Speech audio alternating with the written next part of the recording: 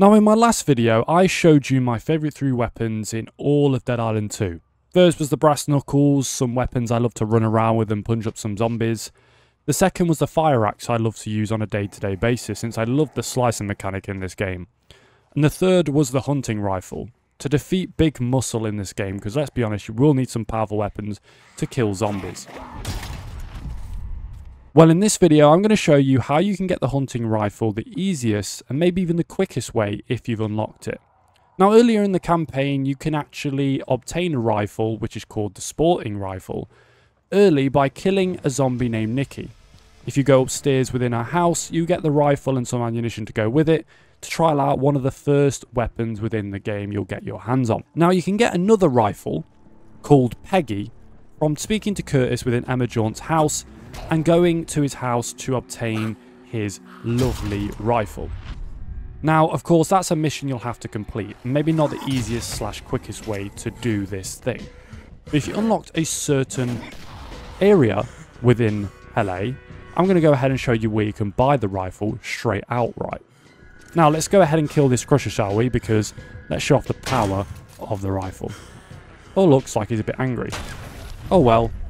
Two shots and dealt with. Now, after dealing with that crusher that came out of nowhere pretty much, you want to go over to your nearest fast travel location. Now, I'm going to go into this Lotus Ville or Vile or Ville shop and I'm going to go ahead and go over to my little fast travel map, which is on the wall over here.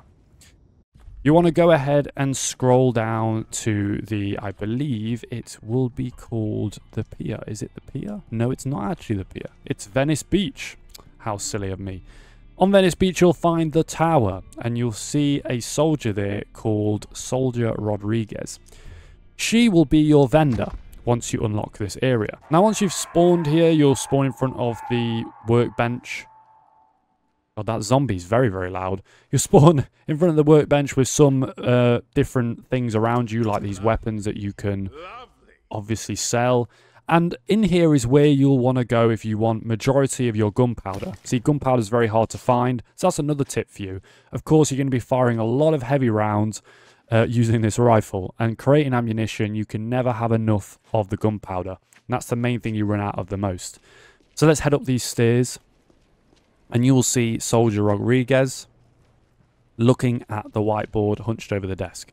She'll speak to you, say something, but if you have this option available after maybe doing a certain, I don't know, mission for her, you'll have the trader option.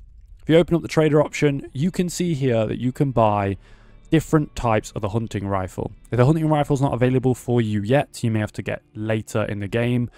But more than likely, if you have her unlocked as a trader, you can basically go ahead and purchase one of these hunting rifles. As you can see, it is 3,000 worth of base damage, and this standard one, rare, is only 2,800. I say only, but it's still a lot. Of course, you can also buy heavy rounds if they're available from here, as well as gunpowder if available. Now, like I've said, the hunting rifle is the power, one of the most, if not the most powerful weapon slash rifle in the game. And of course, you can make it more powerful by customizing it. So if you obviously go into my hunting rifle here and I show you my upgrades, you can copy what's on screen now to increase your damage to almost 4,000, well not even almost, over 4,000 damage output as well as some other effects like the Cremator mod. Now before I sign off this video, I thought I might as well go out and show you how well this weapon performs if you haven't seen my last video. Of course, we're going to have to find some special type zombies to try this out. As you can see, I'm going to run away because that zombie's going to explode.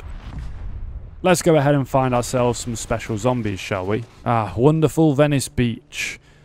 Full of zombies, special types mostly. Crushers, Screamers, you name it, they're all here. Now let's go ahead and try and find ourselves a Crusher or maybe even another type of zombie to show how this rifle works and how effective it is. We've got a burster over there. Oh, we got a runner here. I don't really want to use my things. Come on. Put them up, mate. Bang, bang, bang, bang. Yeah, sorry there. I got a bit carried away. Gotta go find ourselves ourselves a lovely little screamer. Maybe Muscle Beach will have some lovely little uh, fires for us. Let's get rid of this runner because I just want to show off the rifle, mate. Can you just leave me alone for one second? Obviously not. Oh, look at that. We have a wonderful screamer. Okay. I'll deal with you. We'll deal with you. Right. Lovely screamer, not facing us. Let's show off this rifle, shall we? When you see a special type of mutant, as you can see, a volcanic screamer, they are electrified. So, of course, normal screamers aren't. Volcanic screamers has certain abilities. So this can fire electricity.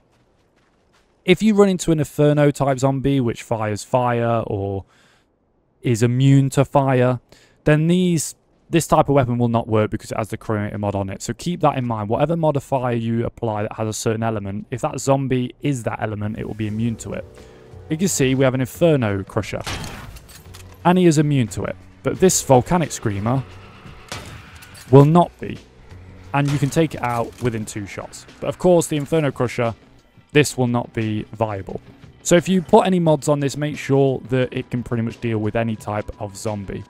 Um, Inferno Crushers are quite regular, so I recommend just probably putting something not like Cremator. But then again, it's up to you. Anyway, I hope you've enjoyed this video, and I hope this has been helpful. Hopefully you know where to find the hunting rifle now, and you know what mods to put on it to make it as strong as it can be. Anyway, I hope you've enjoyed, and I'll see you in the next one. Peace out.